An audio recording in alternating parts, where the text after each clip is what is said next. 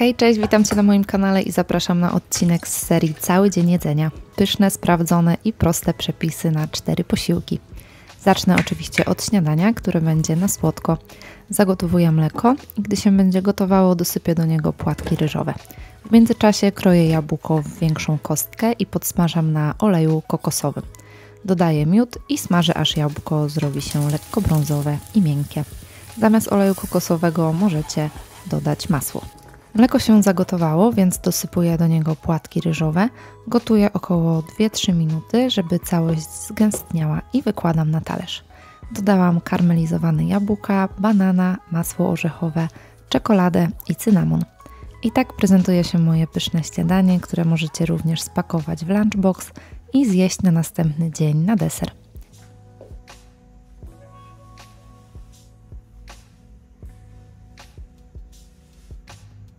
I teraz szybkie drugie śniadanie. Będzie to pudding z kaszy jaglanej z bardzo podstawowych składników, wysokobiałkowy i pyszny. Do pojemnika wrzucam wcześniej ugotowaną i przestudzoną kaszę jaglaną, banana, masło orzechowe, twaróg i odżywkę białkową oraz odrobinę mleka, żeby wszystkie składniki się ze sobą połączyły. Blenduję i gotowe. Tak jak ryżankę, pudding jaglany możecie zjeść na następny dzień lub zabrać ze sobą do pracy.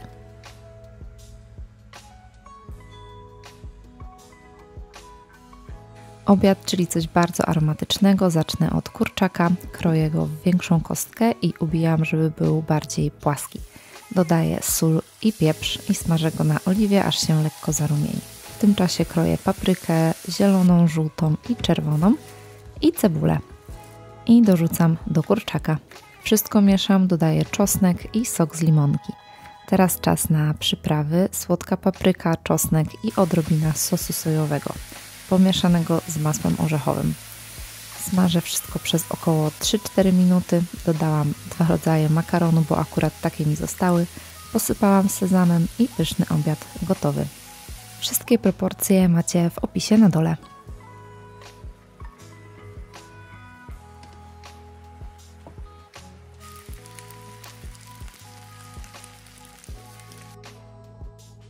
Kolacja, coś przepysznego i lekkiego, przepis na najlepszy humus, ciecierzyca, oliwa, tahini, sos sriracha, jeśli lubicie pikantny humus, do tego sól, czosnek i skórka z limonki.